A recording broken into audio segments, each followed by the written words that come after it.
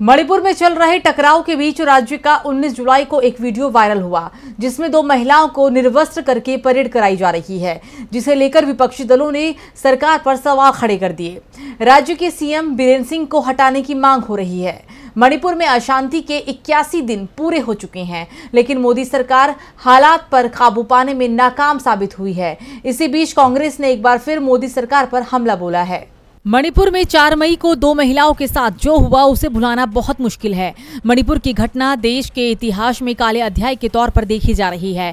हालाँकि 4 मई की घटना की बात 19 जुलाई को सबके सामने तब आई जब एक वीडियो सोशल मीडिया पर तेज़ी से वायरल हो गया। इस वीडियो में दो महिलाओं को निर्वस्त्र कराकर परेड कराया जा रहा था। इस वीडियो के सामने आने के बाद कांग्रेस ने मोदी सरकार को चौतरफा घेर लिया। कांग्रेस सरकार से जवाब चाहती है कि आखिर क्या वजह है कि इतने दिनों तक पीएम मोदी का ध्यान मणिपुर की ओर नहीं गया। प्रदेश जलता रहा और मोदी मणिपुर के हालात पर मौन धारण करके देश विदेश घूमते रहे। इसी कड़ी में एक बार फिर कांग्रेस ने अपने ऑफिशियल ट्विटर हैंडल पर सत्तावन सेकंड का एक वीडियो शेयर करके मोदी पर जोरदार हमला बोला है।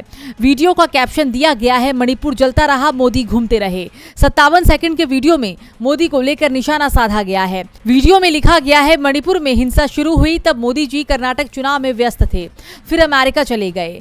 इजिप्ट गए, चुनाव प्रचार करने के लिए मध्य प्रदेश गए, फ्रांस गए, दुबई गए। अकेले डर लगा तो 38 पार्टियों का गठबंधन करने चले गए, लेकिन मणिपुर नहीं गए। मणिपुर की हालात बिगड़ते रहे, मणिपुर जलता रहा, लोग मरते रहे। पीएम मोदी सब कुछ जानते हुए भी चुपचाप रहे। डीवी लाइव की रिपोर्ट।